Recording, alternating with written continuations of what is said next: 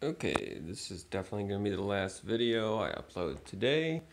Uh, I've been trying to set up this YouTube channel and seems like it's going well, but definitely going to need some of your help because I'm not great with it, obviously. I want to be able to customize it more, um, but I'm going to show you some of the things that I've been doing around the house uh, in all of my, uh, I guess, spare time while we deal with this virus. So I made a cricket farm, actually sort of two of them. Uh, this, the bottom one is more of the actual cricket farm. Uh, these guys are just kind of hanging out, um, just waiting to be eaten by a leopard gecko. Um, this is sort of like my, just like holding tank. I'm gonna fatten these guys up. There's some food at the bottom. Uh, and then uh, hit them with some calcium powder and then feed them to Rex, our leopard gecko. Um, so that's these guys are just sort of like waiting to die. Poor guys. Um, the, this is the actual farm. Now I'm going to open this and then close it pretty quick because I don't want these guys to jump out. But those two little, uh, the soil bits that are over here, um, that's going to be where they lay the eggs. They should be able to lay eggs and they're totally fine.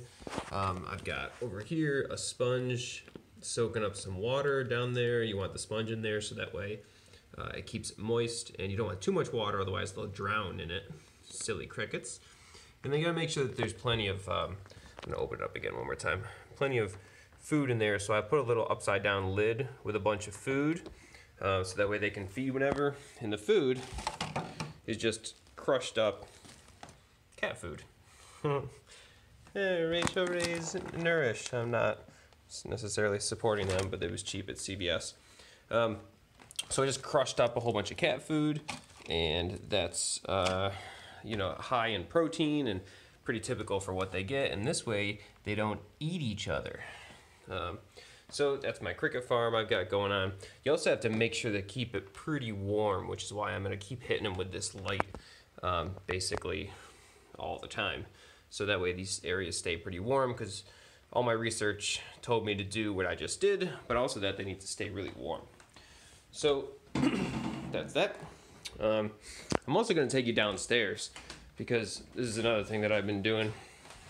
So bear with me while it gets a little dark. So this is my basement. And down here is my ping pong table.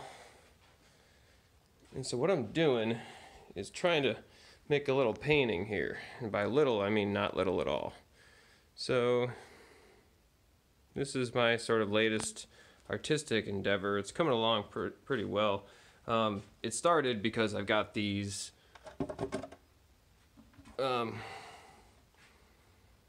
like they're like sort of like panel prints. I've had them for a long time, but um, I haven't really had them up, and so I put them here just because it seemed like they fit, and the walls were kind of a gross looking green color you see over there. So I put them up there and then I was like, hey, I can make a mural. And so I've been sort of blending the mural into the, the painting there. There's, see the three, one, two, three prints there. So that's what I'm working on now, trying to stay busy and uh, make some new life as you see those crickets upstairs, even though they're destined to die uh, via leopard gecko and you know also try and keep myself busy uh, and do something productive and, and fun. So i hope you like it. It's coming along. I'll probably post some pictures videos of it later on. Okay. Murphy out. Subscribe to my channel. You know what, what else you got better to do